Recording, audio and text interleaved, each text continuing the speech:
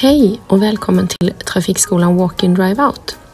Jag som pratar heter Anne och idag tänkte jag berätta lite grann om det här med trafikljuskorsningar. Trafikljus Hej och välkommen till Trafikskolan Walk-in Drive Out. Jag som pratar heter Anne och idag tänkte jag berätta lite grann om det här med trafikljuskorsningar. Trafikljuskorsningar är inte så knepiga som man kan tro, förutsatt att de fungerar såklart.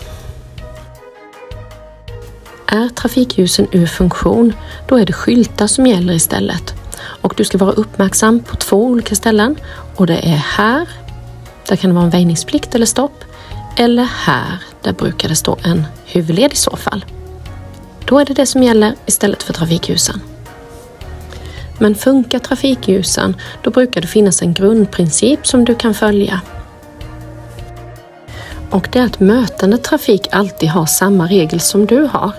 Har du väjningsplikt så har mötet väjningsplikt. Har du stopplikt så har även mötet stopplikt. Och har du grönt ljus så har även mötet grönt ljus.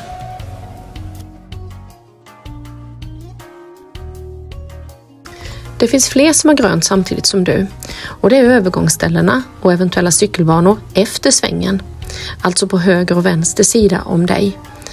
De behöver du inte bry dig om om du ska rakt fram, men ska du svänga får du ta extra hänsyn till dem. De behöver du anpassa farten till och eventuellt stanna för innan du fortsätter din resa. För att förtydliga saken så behöver du inte släppa någon om du ska rakt fram. Självklart så tittar man så att folk gör som de bör, men det finns ingen lag som säger att du ska släppa någon när du ska rakt fram. Däremot om du ska höger, då måste du släppa gående och cyklister på eventuellt övergångsställe efter svängen. Och ska du vänster, då släpper du både mötande och övergångsställe cykelbana efter svängen.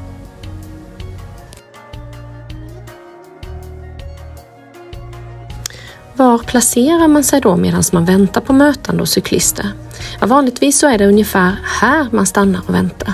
Det beror på lite på hur det ser ut i korsningen, men där brukar man inte stå i vägen.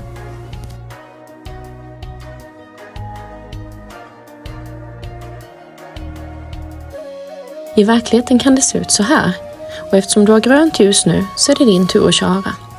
Ska du vänster så placerar du dig i den vänstra filen, håller utkik efter mötande och gående och eventuella cyklister efter svängen. Tänker du svänga höger så placerar du dig i den högra filen.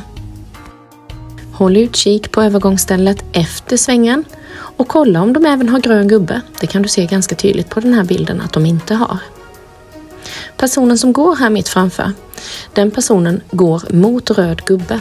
Självklart får du inte köra på den här personen, men egentligen så är det ju den som gör fel. På den här bilden ser man också tydligt väjningsplikten.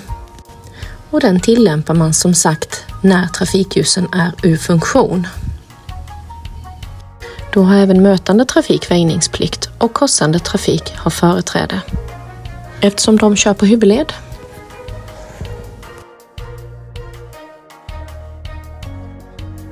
Om korsningen dirigeras av en polis så är det dennes tecken du ska följa. Då spelar det ingen roll att det är rött i en korsning och polisen vinkar fram dig eller att det är en grön eh, trafiksignal och polisen stoppar dig. Det spelar ingen roll heller att det är huvudled eller att det är väjningsplikt, utan det är polismans tecken som gäller i första hand. Mer om polismans tecken i en annan video. Nu hoppas jag att du har fått en del verktyg för att klara av en ljusreglerad korsning.